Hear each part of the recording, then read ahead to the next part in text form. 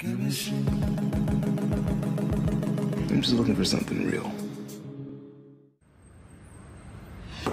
Well, this place is nice. It feels very divorcey in here. That's because I got a divorce. No, no, no. It feels like I got the divorce. Like when I walked in, it got on me. Like it's in me.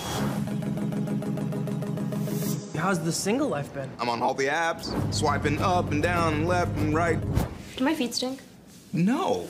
Laundry machine's been broken, so I ran out of socks.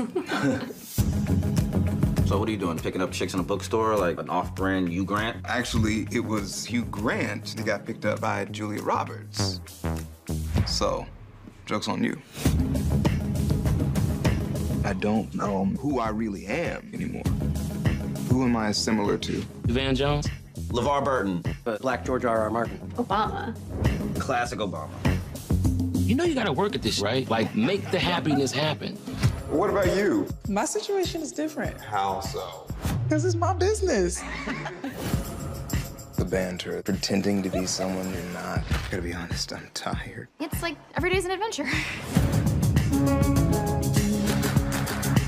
Are you seeing anybody now?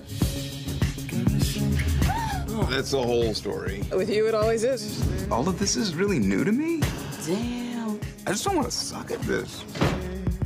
It would be nice to have a mom and dad have. You know, this weed is for chilling purposes, not for your poetic ruminations. No, you're right. I'm lost, and I gotta break the cycle. Hang in there. It is all worth it. The big question is, what do you want? I'm just looking for something real.